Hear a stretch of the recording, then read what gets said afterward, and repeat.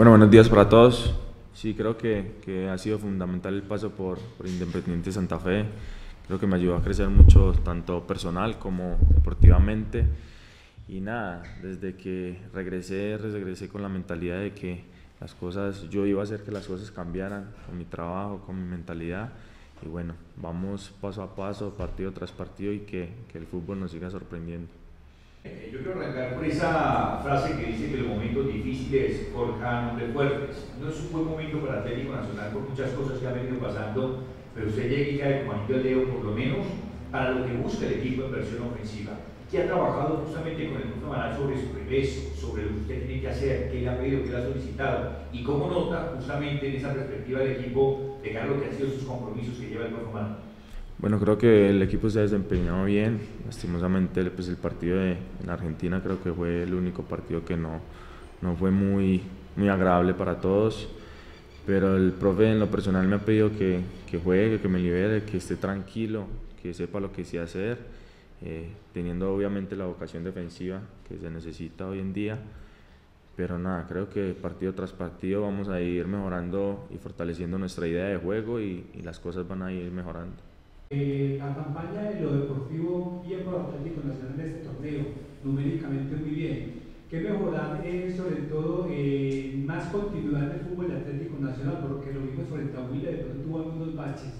Y viene enfrentando un Deportivo Pasto que tiene jugadores que manejan muy bien el juego por las bandas. ¿Cómo enfrentarlo?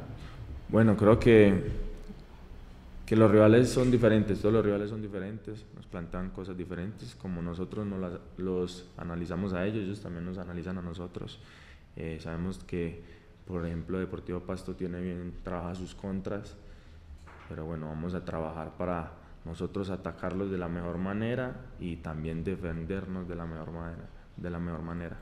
un poquito, porque el domingo juega Nacional en el Campín, un estadio que usted ya conoce por su paso en Santa Fe pero es también un partido importante para Nacional porque es ante Millonarios, eh, venimos de una final en que el club perdió esa final con Millonarios, entonces, eh, ¿cómo están anímicamente cómo se están preparando para ese partido? Bueno, la verdad creo que debemos de ir partido tras partido.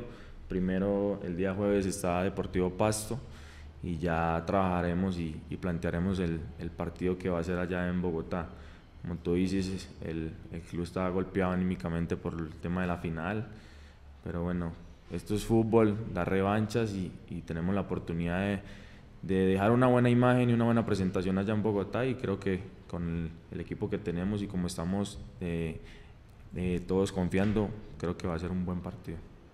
Neider, en esa preparación, ¿qué siente que le hace falta al equipo? Y en lo personal también, en el proceso que se lleva a su regreso con muy buenos números y buenas participaciones, pero en esa autocrítica usted dice qué le hace falta de pronto al equipo y qué le hace falta a esa versión de Neider Moreno que es la mejor comisión nacional. Bueno, creo que día a día estamos para aprender. Eh, lastimosamente allá en Neiva tuve una oportunidad de gol y no la, la resolví de la mejor manera. Entonces cada, cada día estamos para aprender. Eh, el profe también cada día está para enseñarnos para mirar eh, con los bioanálisis en qué estamos fallando. Y creo que entreno tras entreno él nos va a ir eh, plasmando esa idea que quiere para cometerlo el mayor, pues men, el menor error posible. Eh, Neider, estamos cerquita de ver al Neider de Moreno que empezó en el Vigado, gran estrella y con posibilidades de selección Colombia. Bueno, creo que, que es un Neider Moreno totalmente diferente, más maduro, eh, más centrado en, en, lo que, en lo que quiere para un futuro y por qué no soñar con, con algún día estar en la selección Colombia, claro que sí.